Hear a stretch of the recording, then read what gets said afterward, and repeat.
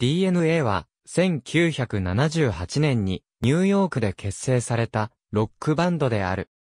ノーウェーブと呼ばれるムーブメントを代表するバンドであるが、活動はごく短命に終わった。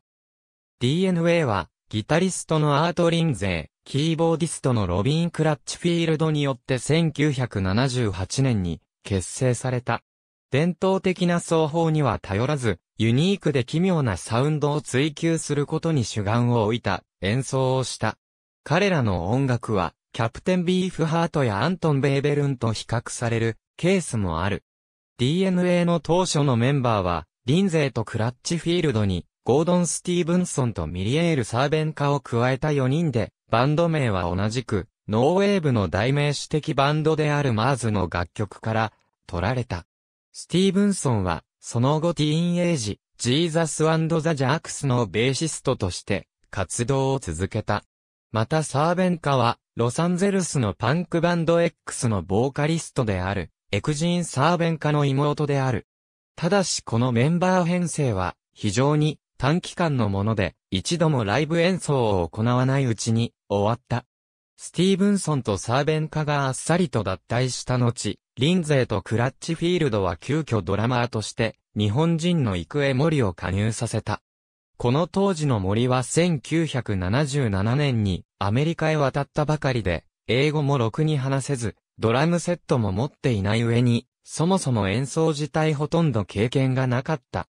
この新編成の DNA は CBGB やマックスカンザスシティで時折演奏し、7インチシングルを1枚制作した。同じく1978年、ブライアン・イーノのプロデュースによって、ノーウェーブを代表する4バンドの音源を4曲ずつ収録したコンピレーションアルバム、ノー・ニューヨークがリリースされる。マンハッタンのアングラ音楽ファンにしか存在を知られていなかったノーウェーブが日の目を見ることとなったこのアルバムに DNA も参加して他の3バンドと共に最先端の前衛的バンドとして幅広くはないが高い評価を勝ち得た。ノーニューヨークのレコーディング直後、クラッチフィールドは、新しいバンドを結成するために DNA を脱退。クリーブランドのバンド、ペルーブのメンバーであった、ティム・ライトが新加入。ライトはキーボードではなく、ベース奏者で、バンド内で唯一まともな演奏技術を持ったメンバーとなったため、DNA のサウンドに劇的な変化をもたらした。楽曲はそれまで以上に切り詰めて、トゲトゲしさを増し、ライトの奏でるベースラインは、リンゼーのかきむしるような無調のギターと森の叩き出す、変拍子のリズムに脅迫的なサウンドを添えた。DNA の楽曲は、より簡素で短く抽象的になってゆき、俳句と比較されるようになった。DNA は1979年から1982年まで、このラインナップで活動を続け、カルト的な人気を博するようになったが、その支持層は、ロックファンよりもアート系の人々が多かったとみられる。この間ライブ演奏は、頻繁に行っていたが、CBGB をはじめとして、マンハッタンに活動領域は限られたままだった。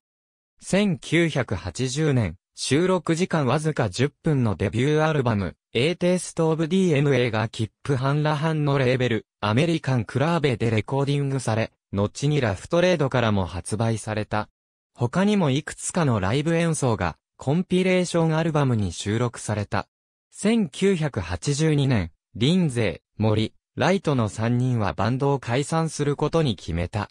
CBGB で行われた解散コンサートが3公演ともソールドアウトになったことからも DNA がカルト人気を得ていたことが見て取れる。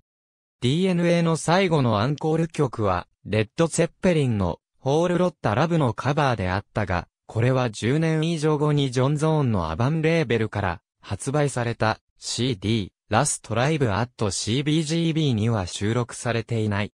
その後、リンゼーと森は前衛音楽家として名をなし、クラッチフィールドも二人よりは少ないながらも音楽活動を続けている。ありがとうございます。